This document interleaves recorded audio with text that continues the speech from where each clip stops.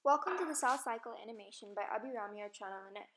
Before we start, let's talk about the cell cycle and how it can be compared to a clock.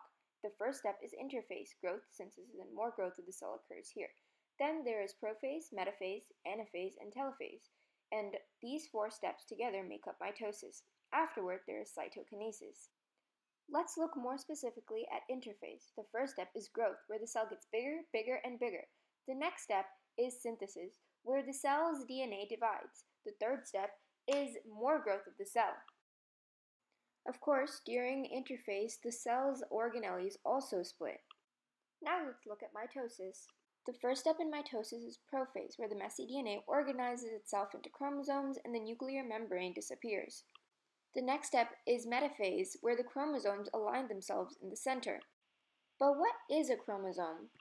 A chromosome is a structure of two identical sister chromatids connected in the center by a centromere.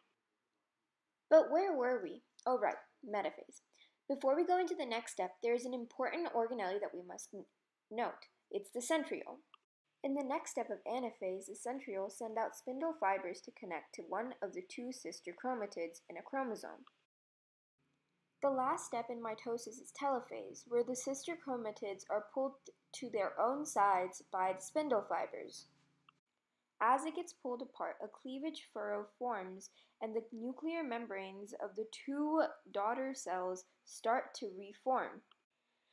Once the cleavage furrow is wide enough, the daughter cells break apart in what is called cytokinesis. And there you have it, the cell cycle. Thank you very much.